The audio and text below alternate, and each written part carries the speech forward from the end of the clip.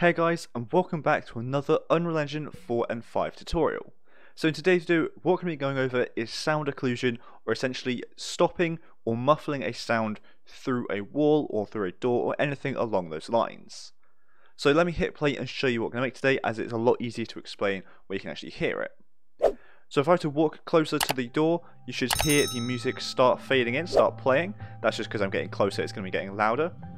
And as I walk through this door, you'll hear it will get louder even further, like so, as I've now actually entered the room the sound is playing in. If I were to leave again, it's going to get quieter and sound kind of muffled, like so. And if I were to obviously go back behind this wall here, it's going to sound slightly muffled, which gives a nice little effect. If I just simulate the game, we can see this even further.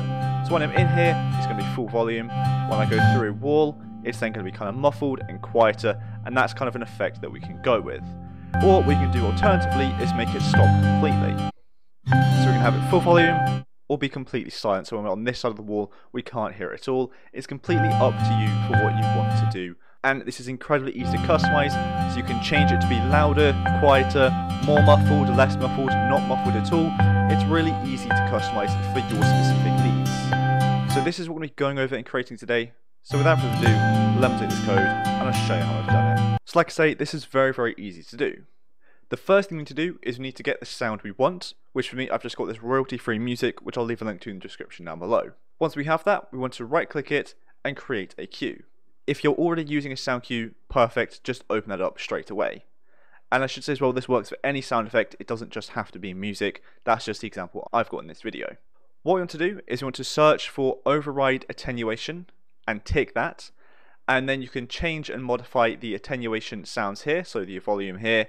So for example I think I had mine as 150 and 1000 obviously set this up for your own map and your own level but that bit doesn't matter too much. You just need to make sure you have override attenuation ticked.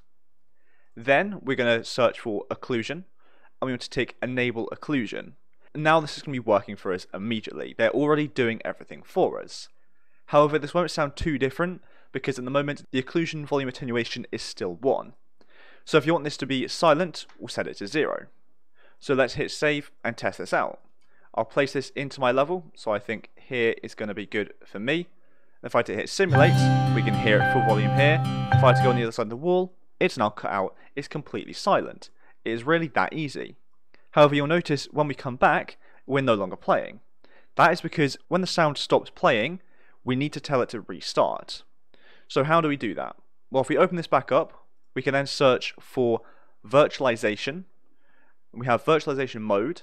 What I'm going to do is do play when silent. So even when we're outside of the audible range, it's still going to be playing, as that obviously makes sense. That's what sound does. Just because we can't hear it doesn't mean it's not playing. So if I were to hit simulate again, we hear it full volume. We go here, it's silent. We go back in, it's still playing. And if you want to muffle it, what you can do is we'll search for occlusion again. So we don't want it to be silent, we want it to be muffled. We'll set the attenuation volume to be 0.2 instead of 0 or instead of 1. So now if we hit play and go outside, it's quieter. But it's only quieter, it doesn't really sound muffled, it just sounds quiet. So you can hear the difference like this. So how do we give it that muffled effect? Well what we can do is use the occlusion low pass filter frequency. And essentially, in a quick roundabout way of saying this, a low pass filter essentially just stops anything above this frequency playing. So it will only play frequencies below this number. So what I set mine as was 450, or let's go maybe even lower for this, so 250, and let's hit simulate again. And now you can see it kind of sounds more muffled as it's quieter and it's only letting lower frequencies through. Now obviously you can change that number completely dependent on your own sound effect as different sounds will require different frequencies as obviously each sound sounds completely different. So just mess about with this to get it perfect for you. For example, if I was to lower it all the way down to 50, you should be able to tell the difference once again. So even less sound is coming through now as we are allowing less frequencies. But again, it really gives it that nice muffled sound. So what I'm going to do is just increase this a little bit more just so it's a bit more audible for the purpose of the tutorial. So I'll say 500. And I think with that, that'll be it for this video as we've done everything we've wanted to do.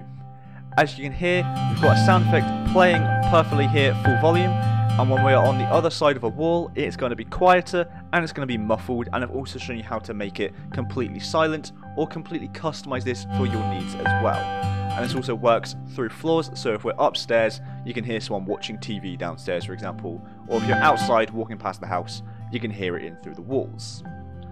Now this doesn't automatically change it based upon wall depth, you will have to do that manually yourself, but obviously it does everything else for us automatically, so you can't really complain. But thank you so much for watching this video, I hope you enjoyed it and I hope you found it helpful, and if you did, please make sure to like and subscribe down below as it really does help me and the channel a lot. So thanks so much for watching, and I'll see you in the next one.